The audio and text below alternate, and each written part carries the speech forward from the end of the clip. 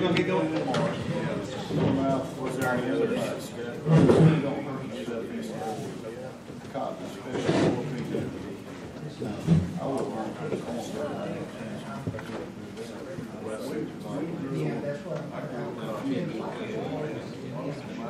All right, I think we'll go ahead and get started again. That's the way I got started with this.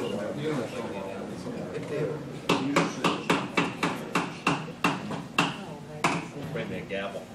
Well, we're gonna go ahead and, um, get into the updated population and municipal water and wastewater forecasts. So I'm gonna take you through the population numbers first, and then we're gonna talk a little bit about the approach on the municipal wastewater, uh, and water forecast.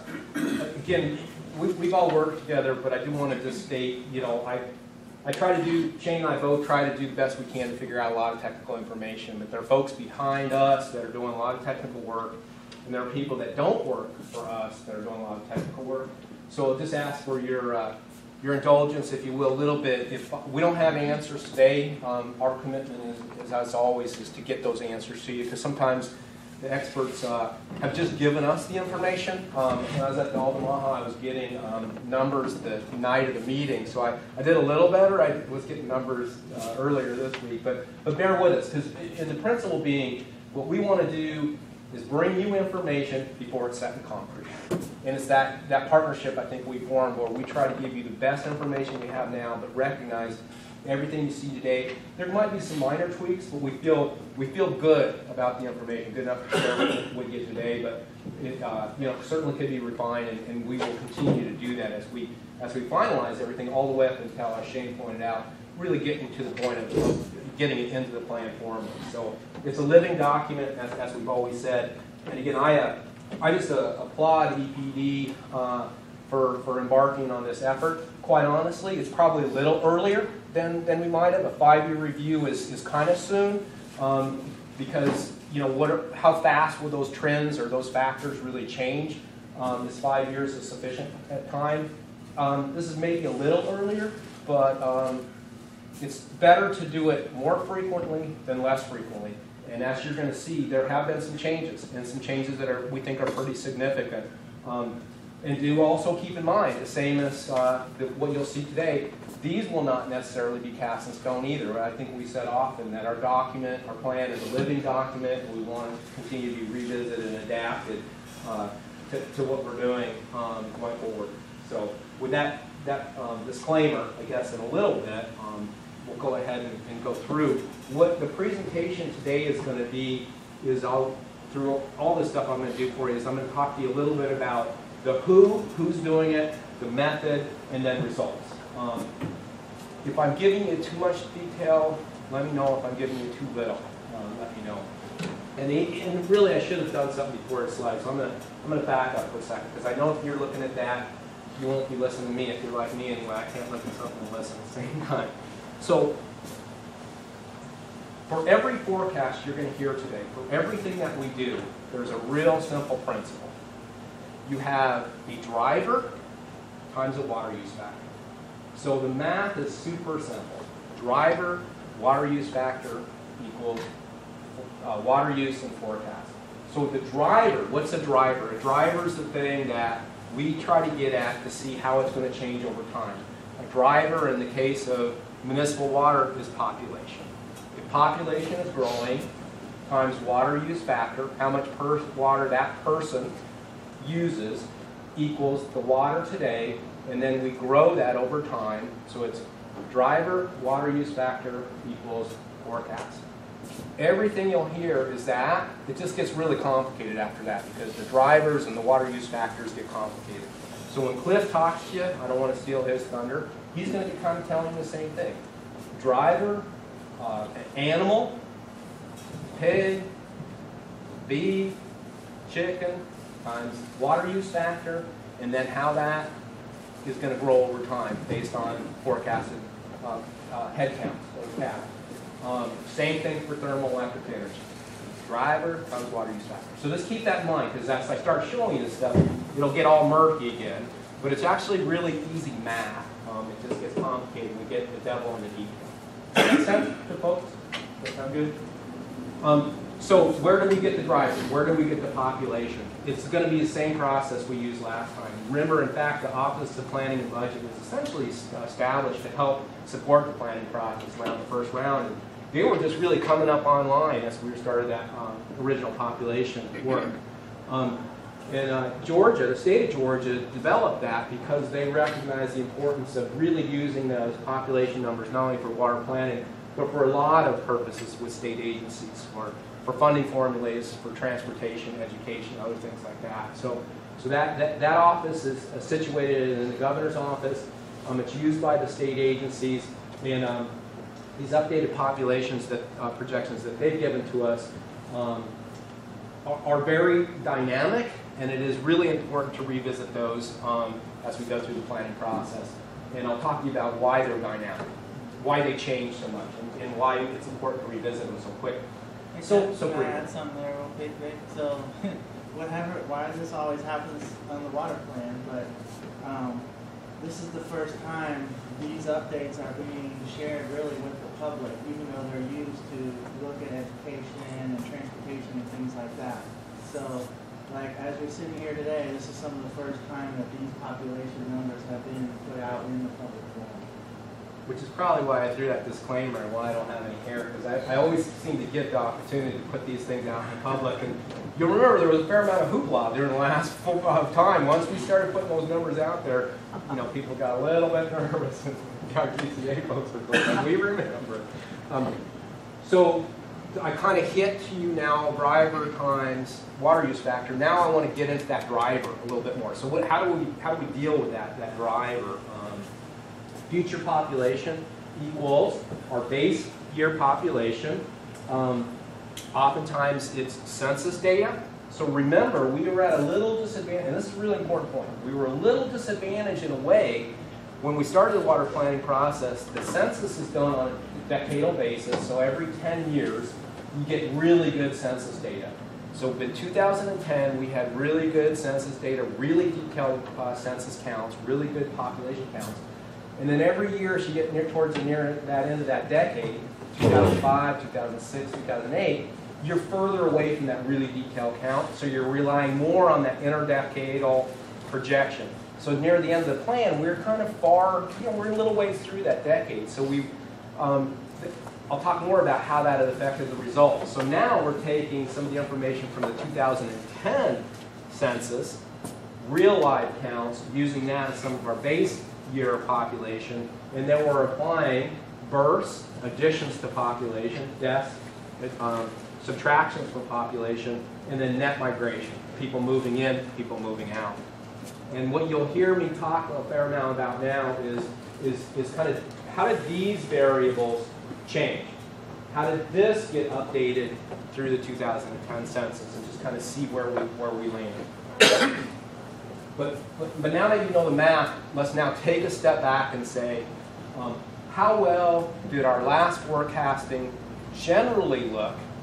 And then in the context of that, how does this next forecasting look uh, kind of going forward? So let's look back for a minute first. So looking back, to put this in more context, this is showing Georgia's historic population projections and actual count from 1900 to 2060. And I know these colors are a little bit hard for you to see, but I'll just walk you through this slide a little because it's, I think, a really valuable slide. You got years down here, you got population on the y-axis, and you can see it's at 5,000, 5 million, 10 million, 25 million um, increments. So you can see in the 1900s, Georgia population was around 2.5 million. Um, and then you see the black line here is the historic population, so it's the, the, the real population count. Then you have the round one population. The round one population meaning what we used in round one of plan. So what, what we used in our plan, what the state used, was round one. And now what you're seeing is the first result of the updated population. So you can see that the updated population in green is much flat. It's showing a much slower rate of growth than was used in the round one population projections. And I'm going to get into that in a little bit and explain to you why I think that's happening. I'm not a demographer, but I've been trying to figure it all out. Um, but what I really want you to focus on is which of those two lines more accurately reflects what historically George has always seen. The blue line or the green line? Which one, if you were to continue this graph and kind of put it in between place, would it be going more like that or more like that? So you can kind of see that, in fact, these updated population projections look to be a little more in line with what historic growth has always been. And, and why is that? Why might that have happened? Well, what was going on in, in Georgia from about 1990 to 2005? Rapid explosive population. Huge amounts of net migration into the area. A lot of young people moving in. And where was a lot of that population going? And so you really saw uh, that data shaping that blue line. Now it's a different story. I'm going to talk a little bit about why that story looks a little bit different. Um, but, but before I do that, even though those population projections are a little bit flatter, the key message here is that Georgia remains still a very fast growing state. So water will continue to be extremely important in terms of how we manage it, and how we use it. Um, with Georgia having about 18%, you know, top 10 highest growing population states, about 18% growth, um, even during that 2000 to 2010 period, which was kind of, began to be kind of part of the boom period. And what happened in 2007? The, the, you know, the recession. And so slowing down. So the 2000 2010 kind of ca captures a little bit of the boom and a little bit of the recession. And so this forecast kind of has a little bit of both of those elements into it. So, um, but again, Georgia being, um, you know, in terms of the population change, uh, ranking very high in terms of overall population change compared to all other states, uh, one of the top 10. Does that all make sense so far? Kind of set the, set the foundation? Because now we're going to get into some results. Um, so I'm zooming now into not the historical part, but where we are today and where we think we're going to be in the future. And I apologize, these lines are a little bit hard to see. The black is on the top and the, the lighter blue is on the bottom. And the round one is on the top and the updated is on the bottom. So you can see what I kind of described there, would have zoomed into it now. A little bit more flattening of the population. In round one, uh, the population was projected, excuse me, the population at the time was a forecast, though it was 10 million. The updated actually has a census count, so it was actually a little lower census count um, than what was forecasted, but pretty darn close. So it was right in there. Doesn't, you know, it's easy to project something when you're only projecting for a couple of years. It's really the out years where you start seeing the differences more. So by 2060, in round one, the Georgia population was forecasted, projected to be a little over about 19.5 million plus, 19.69. Under the update, really 14.71. So a, so pretty substantial shift down, but, but still significant growth from 9.5, 9.6 million to 14.7 million. So still, still significant growth. So now let's look at our region. Um, this is aggregated for all of our counties here. Um, the, again, the same, same layout. Round one is on the top. The updated is on the bottom. Uh, and then the num numbers, which may be a little hard for y'all to see, is in, in round one, 2010 forecast was uh, estimated to be about 403,000. The, the, uh, um, the update, which actually has census count in it, was 406,000. So pretty close, but, but not exact. Um, but then here you can see uh, this region, Suwannee-Satilla region, really mimicking in large part what you're seeing statewide, uh, perhaps even more pronounced here, and I'm going to talk about why it's more pronounced, meaning that the effects of a slower growth rate are seen a little bit more here than you're seeing statewide, and I'll explain why I think that's happening. But again, the original forecast showing 650,000 by 2050, and under the revised forecast, about 5, 500,000. So a pretty significant difference. And, and let's get into to, to why, if you might be thinking we're seeing that. And, and just by the way, we do have this information county by county, but again, for purposes of today, uh, we can certainly get that to y'all. We, we want to kind of stay region line today. The, the patterns you see county by county are pretty consistent. Some counties a little bit flatter in terms of their growth, uh, some a little bit more robust. And it's just intuitively just what you guys experience and are thinking. Um, some of the bigger city areas like Valdosta, Lowndes County, you know, a little bit more uh, steeper growth rates. Some of the more rural counties like Echols, you know, maybe a little bit more flat in terms of it. But, but generally, you know, the pattern follows pretty closely along what you see here for most counties. Questions so far? So let's get into some of the reasons we, we think, um, and, and I want to start with, um, to understand the reasons, we got to know the method a little bit more. You've heard this before, but a reminder. So the, uh, what they call a cohort component model was used for both round one and updated population projections. So there's no difference in terms of how we're approaching it. And There's no difference in terms of the math that's being used. The inputs are changing.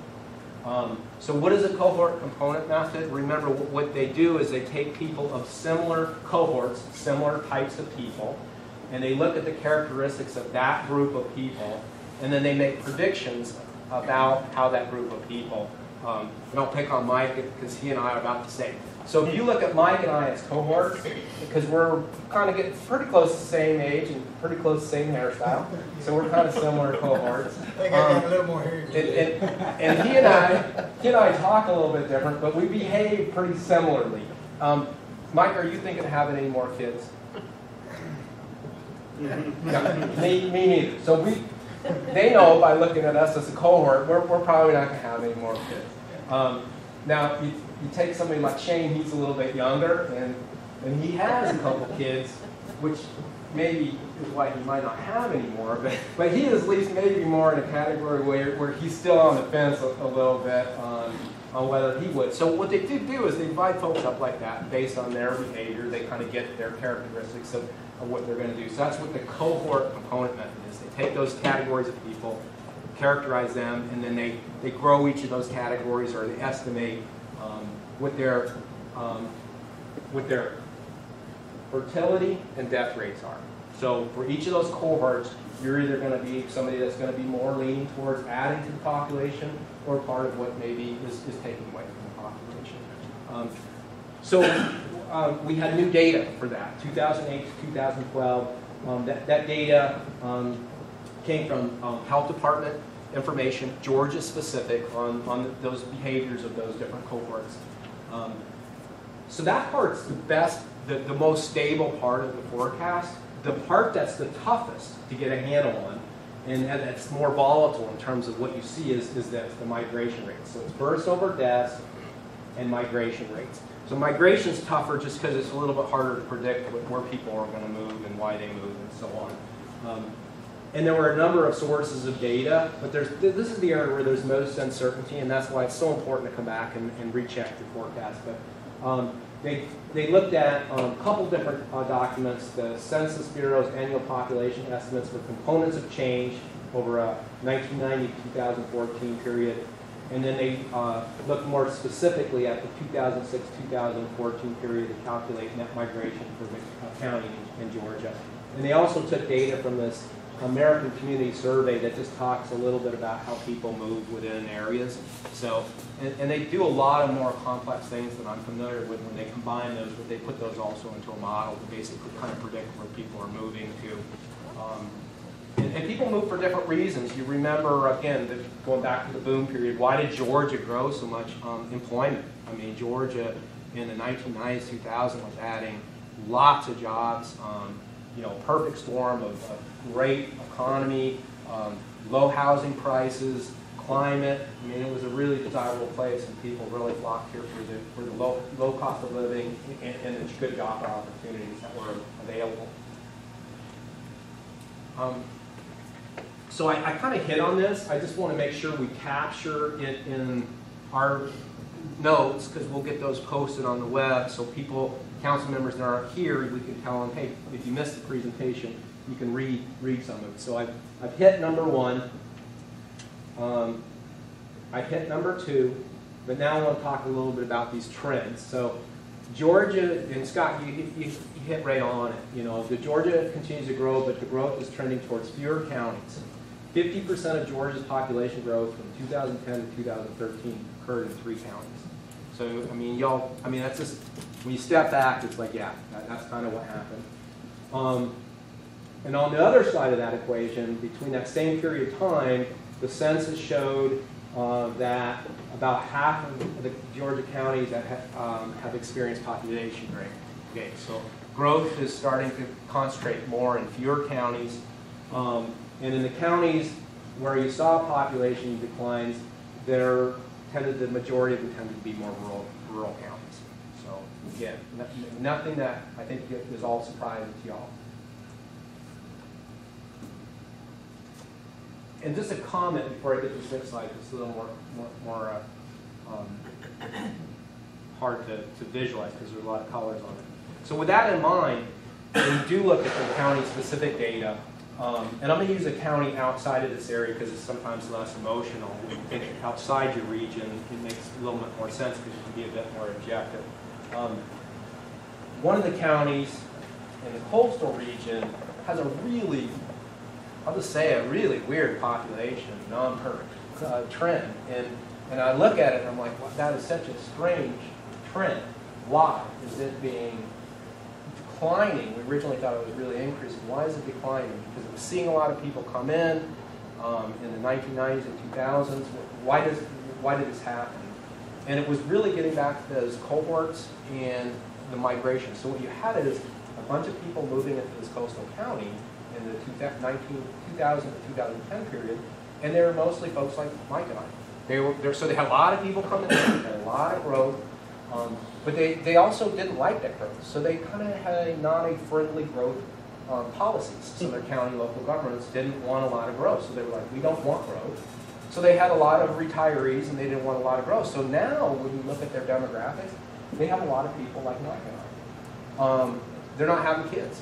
And now as, the, as people that came in are aging and they're reaching the end of their life, their mortality rates are increasing.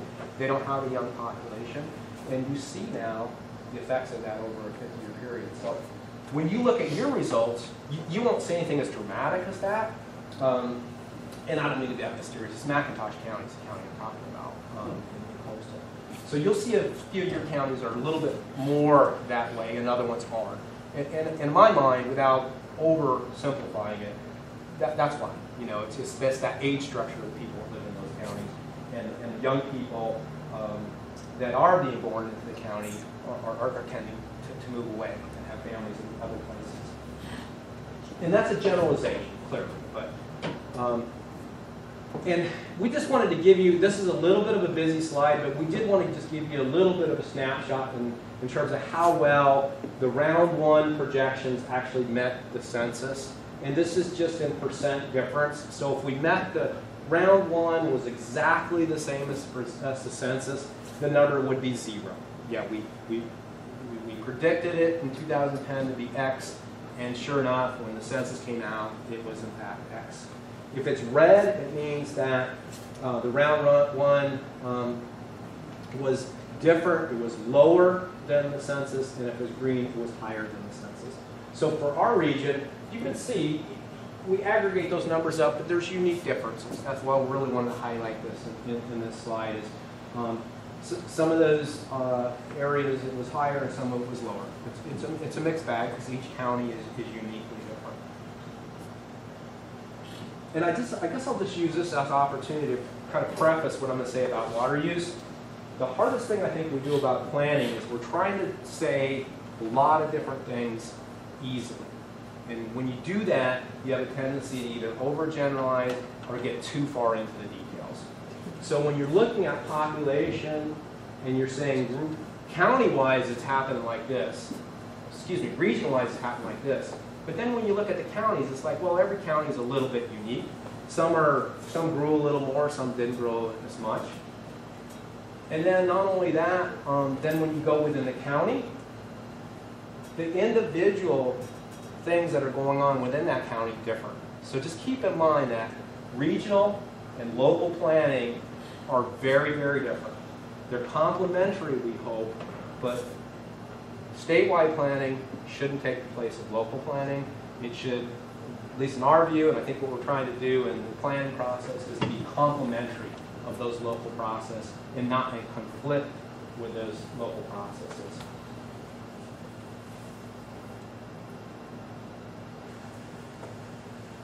So that, I'm gonna kind of move on into now, um, a little bit more of the, taking that population out and moving it into water, but I want to pause here, because that, that, that was a lot of information. Anybody have any questions about population projections? Some of those are pretty interesting, I think. Um, I don't, I don't know how Echols is gonna get much smaller. I mean, there's twenty-five hundred people live in Echols County. They just had lost to Yeah, did they? different groups. They got a tax, they, they only had one source of sales tax here, but that was that Jiffy Store. That- Until now, I guess they have another source. That's good. Well, it's been built. I just, no- well, there you go.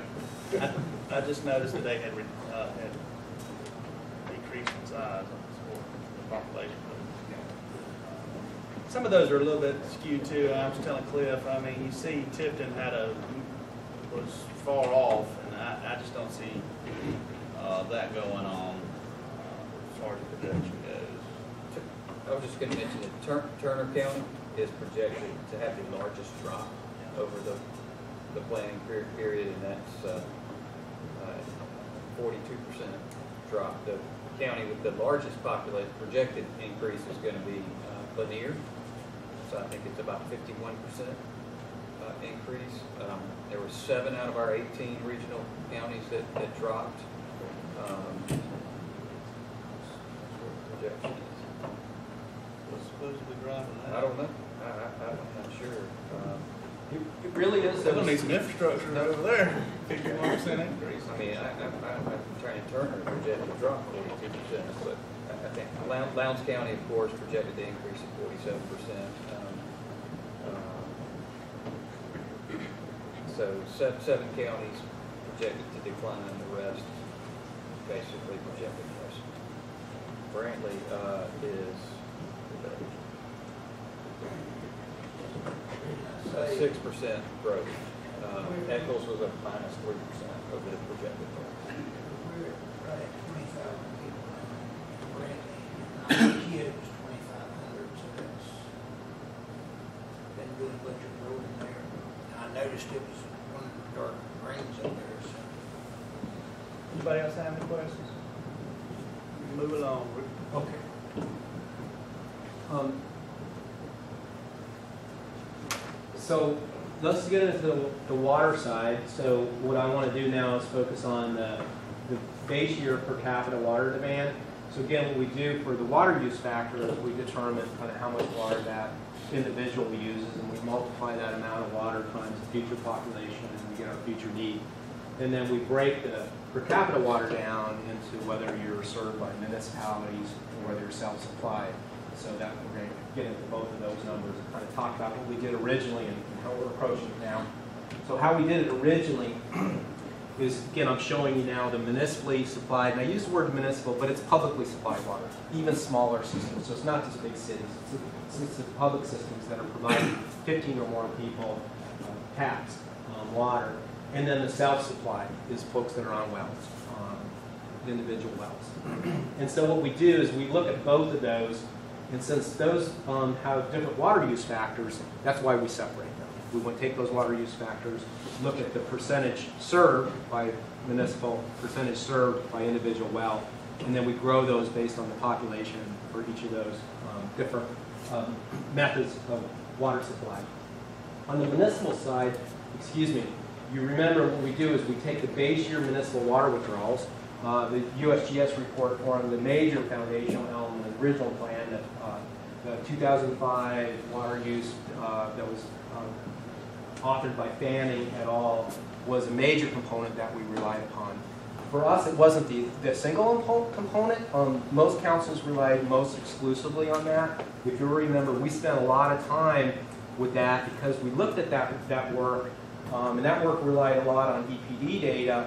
Um, but what we did is where we saw discrepancies, we went to two other data sources, if you guys will remember, is we did go to EPD's drinking water permits and some of the withdrawal permit information. And then we looked at statistically whether there was an outlier, and then we went and we looked at that outlier to see if there was a reason. Sometimes uh, it was just a matter of, uh, and, and our chairman asked me about this, and we remembered in Ben Hill with Fitzgerald, we had a large industrial user that had been captured in the USGS report that after we teased that data out a little bit more and reached out to Fitzgerald, they said, yeah, we have a large industrial provider. And we'd like to, we'd like to subtract that large industrial water using. Really want to emphasize this. Not a large industry, an industry that uses a lot of water. It could be a small industry, but if it uses a lot of water, we want to take it out of the base year water withdrawals of the city. So if you have a city that's providing large industry water, we want to take that out. Why do we want to take that out? Um, because we don't grow industrial water use based on population. It doesn't have a relationship with population growth. It has a different relationship. And if you remember, that's that we so the the driver for industrial water use is not population. It's production ideally, but industries don't give us production data. So I'm kind of foreshadowing a little the industrial piece, but um, just realize that we grow that differently, so we take that out. Um, and then we look at by population and we get the gallons per capita per day. Um, for self-supply, just a reminder, we originally were going to use the 75 that the USGS had published in the Fanning report. After working with y'all, um, and Greg in particular, um, and a couple other folks, um, there was a discussion that a lot of municipalities use a different unit for evaluating how much water uh, that is used by uh, their, their folks. So they use a equivalent factor. So they say, how many housing units do we have? How many people are in those housing units? And then they use 100 gallons per capita per day to then look at that. Utilities sometimes use that formula. Um, so y'all adopted a, a little different number that reflects a little more locally the way some of the smaller utilities do it here. So that's why we, we deviated a little on that 100 based on the direction you guys gave us. Um, Just a reminder, the other, the math part of it, I think I've hit on everything else here. Uh, county, calculating a weighted average, weighted by population served for each county.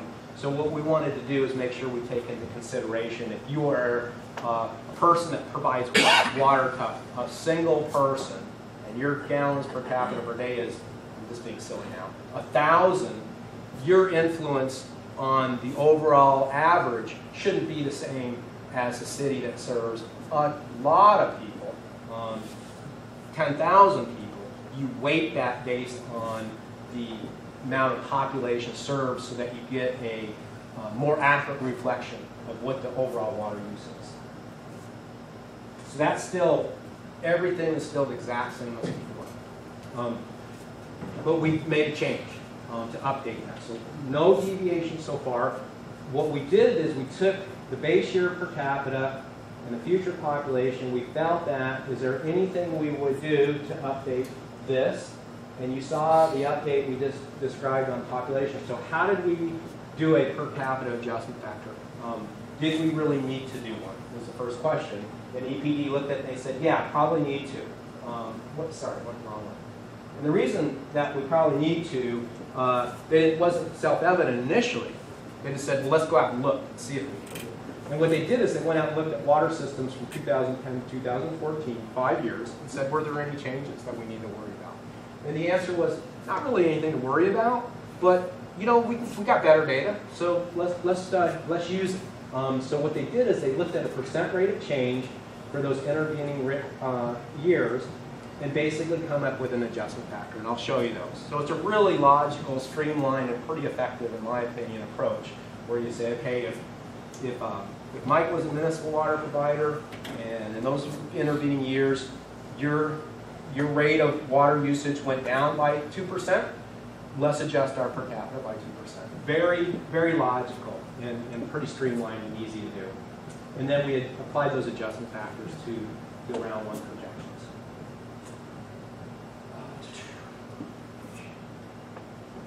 I hit on these. Um, so we're taking our, our new populations, that's split between municipal public supply, and then um, the ratio of the publicly supplied and self-supplied um, for round one were, were maintained. We didn't really change that at all. We didn't see any trend information that would suggest we needed to do that. Um, So what, what did it tell us? Um, Overall, pretty small relatively change. This is on the water use side now. Less than 10% change across all counties. 11 of the 18 had less than a 5 gallons per capita per day change. Um, The regional average uh, in round one was 137 gallons per capita per day. Again, each county was unique, that's in our plan. Um, And the updated information is 135 gallons per capita per day. That's region-wise, some went up, some went down, and I'll show you that in just a second. Um, But a really pretty small overall change of 1.4. Um, so, Rick, will that be applied over the entire, uh, future projections? Yeah, let's, let, let me show you this, Tom, that's a great question. Because this will give you a better sense of what it really looks like. And again, we'll get you better graphics over time, but to Tom's point, how will this then be applied? And this is how we'll apply it. So we're taking, uh, the county is on the far left, the next column is your round one GPCDs for each individual county now.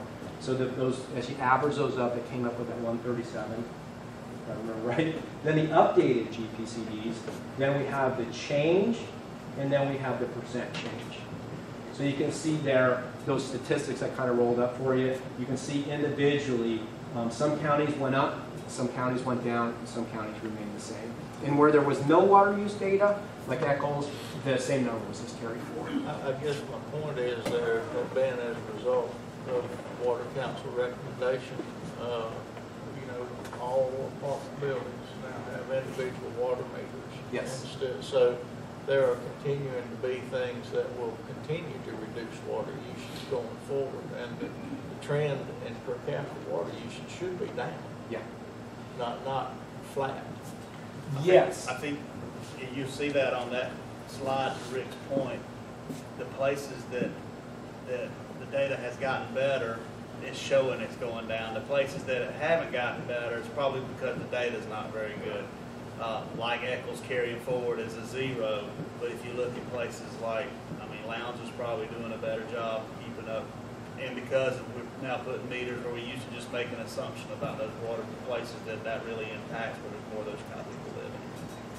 Your, uh, reductions are going up. And, and Tom, you've hit on, you know, I'm kind of trying to keep the math simple. Um, So I don't want to go too far into this unless council really wants me to. But Tom's exactly right. Remember what we did. There's two parts to Tom's question, if I'm hearing him right. One is, wouldn't we expect to see overall water use kind of decline over time as a result of BMP, best management practices? Um, And our forecast does that to a point. If you remember, what we do is we, last time we, we embedded into the forecast conservation. We called it passive conservation, meaning it's conservation that's going to occur without anybody doing anything actively. And it's going to occur because of mostly the mandating of low-flow water fixtures. So you remember we talked about the 1992 Energy Policy Act that mandated low-flush toilets, and then Georgia legislation that has, uh, I think it's ultra low, ultra high, high efficiency toilets. And so what we do is we have adjusted the water use over time by looking at the rate of replacement of those fixtures as a passive conservation adjustment. But, but Tom's other point is something we haven't completely done is that, what about, what about more sophisticated conservation measures, such as, as metering of single, individual meters for multifamily residences? Um, because that usually does result in lower water use. Um, since there's no rule statewide or countywide to do that, we don't adjust that. What we do is we carry that forward as part of the management practice if we, if we want to recommend that to folks. So, and council had some recommendations on, on metering and conservation for that. So, and we'll, believe me, we'll, as we get back to revisiting our management practices, to Tom's point, we'll, we'll get into looking at that a little bit more. Um, But I always say it's also really important to step back when you're looking at all this stuff and say, okay, what does it really mean for the region? And, and, I mean, this is very important data, and we need to be consistent across all counties, across the state, so we have apples to apples. For our region, what does it mean? Most all of our municipal water supply and self-supply is provided from groundwater. And right now, we'll find some wood number. Right now, we'll see, but right now, our uh, resource assessments show pretty good groundwater availability. So as we look at population, look at these numbers, what are the practical implications for the region? Um, No, no red flags yet, no yellow flags yet that we're seeing based on, on what we're seeing here. Um, That won't be the case necessarily for, for all planning regions. So, um, But to our original vision goals, just because we're doing good doesn't mean we can't do better. And revisiting, are we wisely, sustainably managing our resources? So, um, enough pontification on my part. So just now, I want to combine those numbers. So I want to go back to population, just remind you, uh, new population numbers show lower growth. Now I'm going to take the population and combine it with those tables that you just saw and show you some aggregated numbers for that. Um, that. So this is now showing you the water. So it's got population and water now together. So the new numbers on the bottom are, are, are the, excuse me, the numbers on the bottom are not new. It's just the years out, but the numbers on the y-axis have changed. They're now in million gallons per day. So we've taken the population times the GPCD, million gallons per day, and we're showing it region-wide. And we're showing you just a comparison between the round one in gray and the updated in kind of the, that's kind of a yellow-brown color.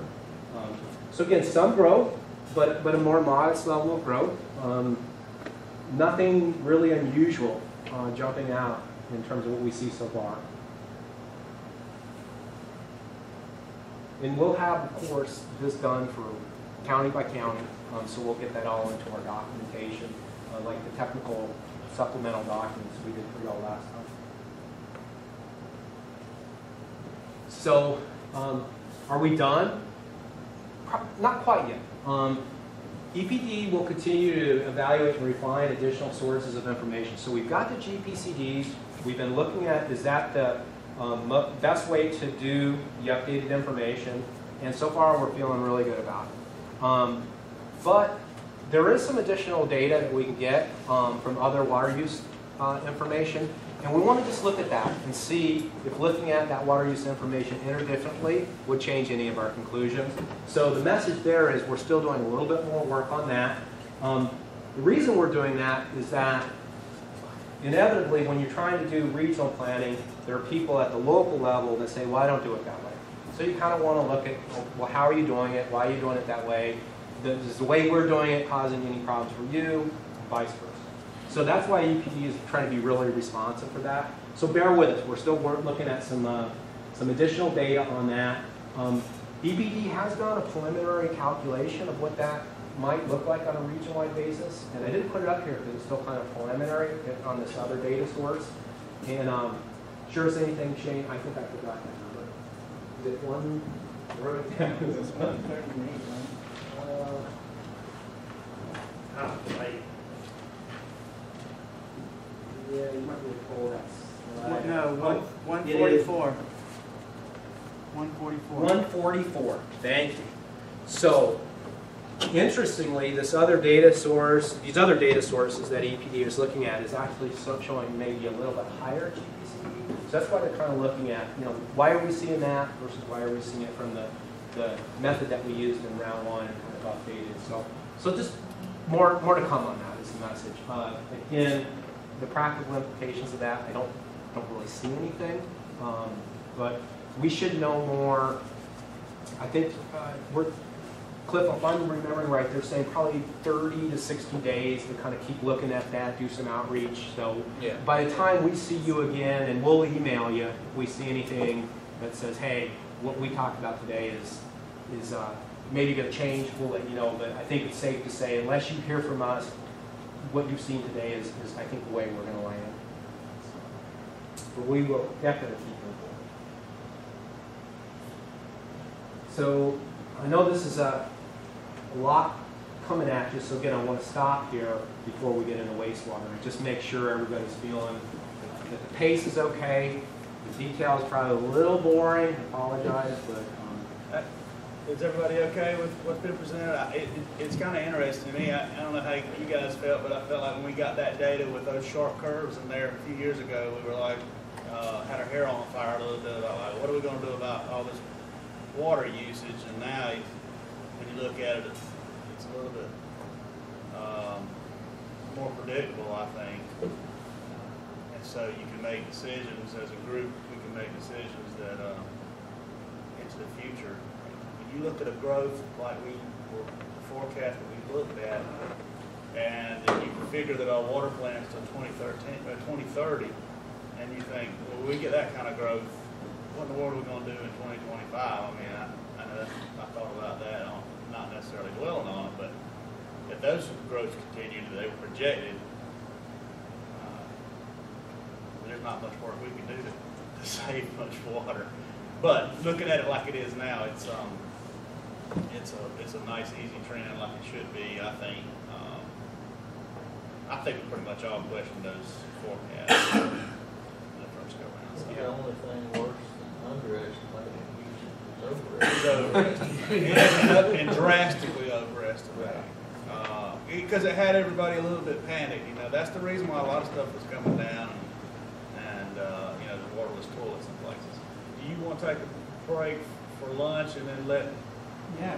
Rick present this during lunch, is that okay if we eat and Yep. starve Rick and let him do his wastewater? And we'll talk about No. sewage while we eat lunch? That's great, that's great, and then, then let me just, that's perfect, Scott, I just wanna not jump ahead of where we're going, but for you guys, just always remind you, help us make sure it makes sense to you, and help us step, step back from all the math and think about the implications of folks, uh, like y'all, that are out there in your communities. Um, so if I were to say, what might this mean to people, I don't see anything that really bothers me, except for maybe one thing. And I it when I went to Bryan County near the end of the last planning session. And when I went to that, I went to them to talk about saltwater intrusion. And they couldn't care less about saltwater intrusion, which is a huge issue. So why did, couldn't they hear a word that was coming out of my mouth? Probably because I'm boring, but, uh, they were going through their budget. And they were looking at the impact of property taxes on their county budget. And they were looking at their ability to pay their county employees. So what does a declining forecast mean to us? We're not to worry so much about the resources, but we've got aging infrastructure, and potentially a lower tax base now. So our message to be thinking about as we reach out to our individual providers are uh, your water sewer fees, your fee structure, and how you invest in your capital uh, investment projects. You really have to sharpen your pencils. And the sooner you start trying to do that, the sooner you start looking at rates. Nobody likes high, high rates, don't get me wrong. But I guess that, you know, that's maybe a little different message, one that we, we didn't really, with boom and growth, you don't think about that of message. Anyway, so that, that's word that's maybe speculating now, but uh, maybe. Well, what I would add to that is, again, I, maybe I sound like I'm I'm a dead horse here. It is a credit again to the state of Georgia for taking a chance to update these every five years because, you know, when we did the original plan, everybody thought it was gonna grow like this. And now we're like, oh, maybe it's somewhere in between. And the other point, I, you know, I look at someone like Henry who, who runs the utility there in Valdosta. Um, you know, that period of time, you were probably ramping up for some serious, you know, capital development as far as on your infrastructure side. And, you know, a lot of the utilities really kind of thankfully said, wow, I'm glad, you know, that it would come because it gave them some time to maybe plan it out and, and, and be a little more slow in their growth and maybe not impact rates as much. So, You know, more along what Rick's talking about, the devil's advocate of that is, if you did invest in that infrastructure and you got a declining population now, you're gonna have to really take a close look at your rates. Yeah, Effingham if we- County. Tap fees. Imagine if we had only done an update twenty years, you know, we were working off of those Arkansas. projections. Yeah. Very good. All right, Well, well, thank you for your attention. let's take a quick break. We're gonna, we're gonna eat Can I say grace before we eat? You Oh. have problem with that? Yeah, and I, let- and, and we got enough for the, Everybody. uh, Absolutely. we got Please enough for join us. everybody in Yes, the sir. peanut gallery to eat as well. Uh, and Mike will say grace, and then we'll go over here and, and you can get your plate, and you're gonna continue while we eat, if that's okay with everybody. I know it's probably not all right with Rick, he'll be the only one not It's eating. totally good. but We'll try to keep going. We're a little bit behind schedule, so we'll, uh, we'll do that, okay? Get it, Mike. Our Heavenly Father, thank you for this day. I Pray that you'll be with all the board members and the guests that come to this meeting. I Pray that you'll guide us in our meeting, and I pray, Lord, that you'll bless this food for nourishing our body, our body for your service. In Jesus' name we pray, amen. Amen.